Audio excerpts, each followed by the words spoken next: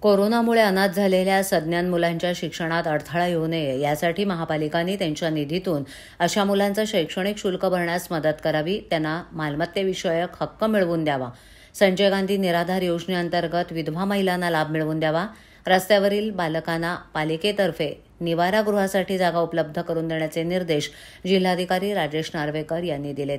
Corona काळात बालकांची काळजी आणि संरक्षणासाठी असलेल्या जिल्हा कृती दलाची बैठक नुकतीच जिल्हाधिकाऱ्यांच्या अध्यक्षतेखाली झाली.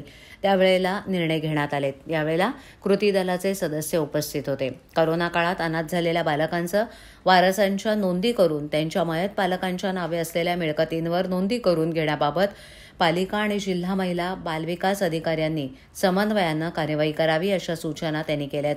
करोना कालावधीमध्ये एकूण चारशे एकोणतीस महिला विधवा झाल्या आहेत त्यांना संजय गांधी योजनेचा लाभ देण्याबाबत तहसीलदारांना निर्देश देण्यात आलेत. सर्वेक्षण झालेल्या रस्त्यावरील मुलं बालकांसाठी पालिकेनं रात्र निवारागृह किंवा दिवस निवारागृह चालवण्यासाठी जागा उपलब्ध करून द्यावी. जागेसाठी लागणाऱ्या सोयीसुविधा या जिल्हा नियोजन समितीच्या नाविन्यपूर्ण योजनेअंतर्गत करून द्याव्यात असंही नार्वेकर यांनी सांगितलं.